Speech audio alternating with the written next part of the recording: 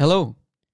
Muhammad loved to be worshipped by his companions, i.e., the Sahaba, and he showed his true colors as a true cult leader who created Islam 1400 years ago. Now, in every cult, we see that everything is about the cult leader, and everyone should obey him at all times without any objections. And if you object or insult the cult leader, you are allowed to be killed. And that's what we also see in Islam. And most cult leaders, like Muhammad, loved to have as many women as he could. And Muhammad had plenty of women and sex slaves.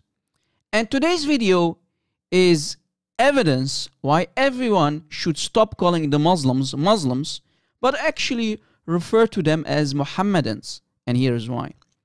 As you see here, Muhammad is not a name, but a divine title. The name Muhammad or the title is shirk the moment Muhammad took on that divine title. Muhammad wanted to be like Jesus, to be praised, the praised one, the anointed one, the God of the Christians, Jesus himself.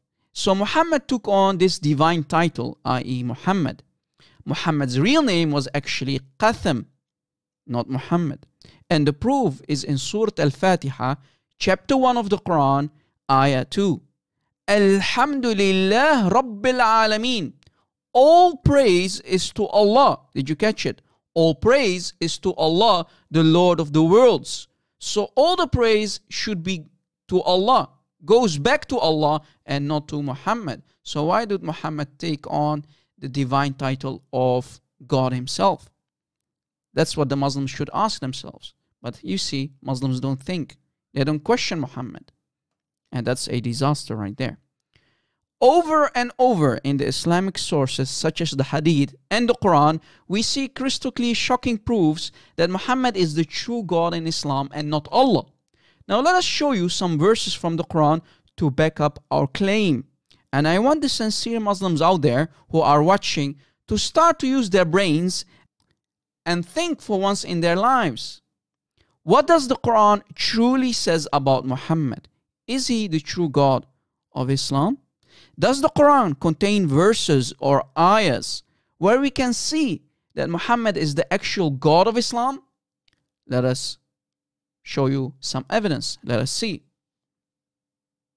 Now, if we go to chapter 46, ayah 31, we can read in the Arabic يا قومنا أجيبوا داعي الله وآمنوا به يغفر لكم من ذنوبكم وَيُجِرْكُم مِّنْ عَذَابٍ أَلِيمٍ Translation O our people, listen to Allah's caller, i.e. Muhammad, and accept faith in him, i.e. Muhammad, so that he may forgive your sins, i.e. Muhammad, and save you from the painful punishment. What? That's blasphemy. If you read it like that, that's crystal clear blasphemy this proves that Muhammad actually is the real God of Islam, according to this ayah. Why? Here's why. The da'i, the caller, is Muhammad, right? And you have to worship him because he is the one who is going to forgive your sins.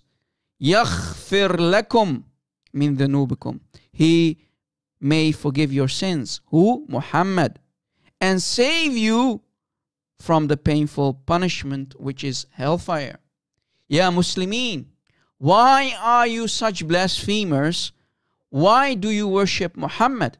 You always tell us that you do not worship Muhammad, but the ayah here is crystal clear in chapter 46, ayah 31.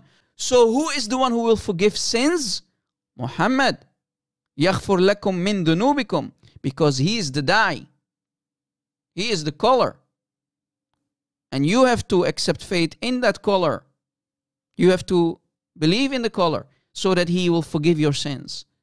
Now, some Muslim scholars, some Muslim translators who are too embarrassed about the blasphemy in this ayah, they have to add Allah's name twice in the translation.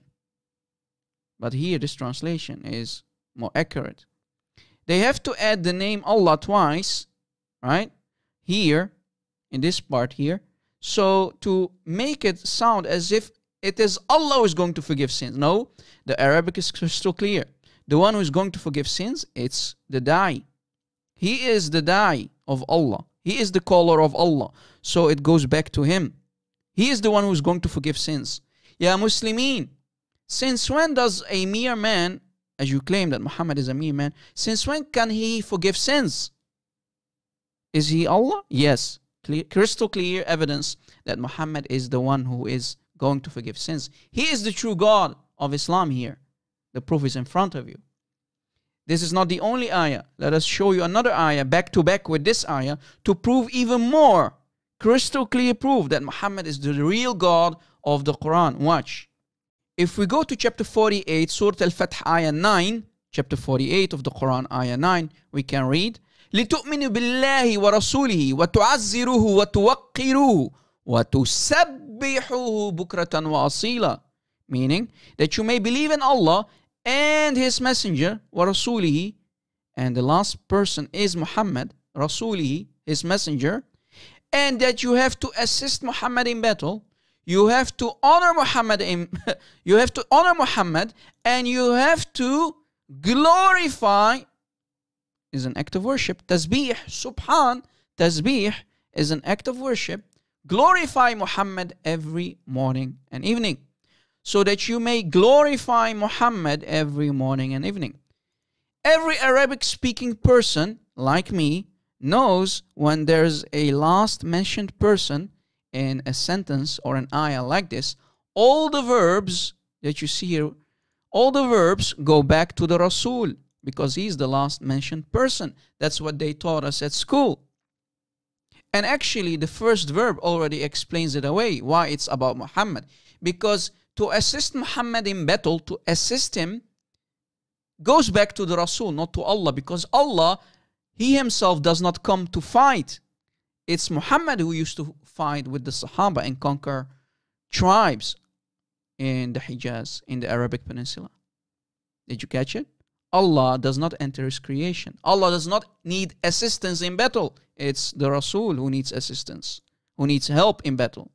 And actually, if we go to Tafsir al Qurtubi for the Quran, for the same chapter, same ayah, chapter 48, ayah 9, by Tafsir al Qurtubi, Tafsir al Qurtubi, Ibn Abbas says, ترجمان القرآن حبر الأمة the translator of the Quran, the Ibn Abbas, the ink of the Ummah, the Ibn Abbas said, and I quote, You fight with him with the sword.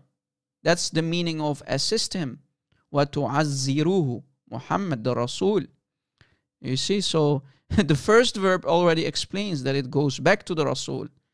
And you see, وَرَسُولِهِ You see, وَرَسُولِهِ وَتُعَزِّرُوهُ وَتُوَقِّرُوهُ وَتُسَبِّحُهُ بُكْرَةً وَأَصِيلًا So the glorification goes back to the Rasul. Glorify the Rasul, Muhammad. So we showed you from two different ayahs that Muhammad is actually the true God of the Quran, the true God of Islam. Muhammad, as the cult leader who created Islam 1400 years ago, wanted to be worshipped by his followers.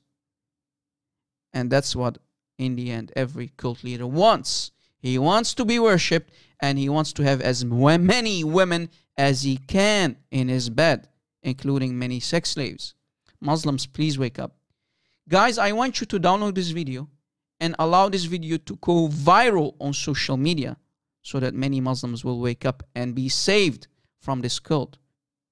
Muslims, please leave Islam. Stop worshipping Muhammad, the true God of Islam. Thanks for watching, guys, and God bless.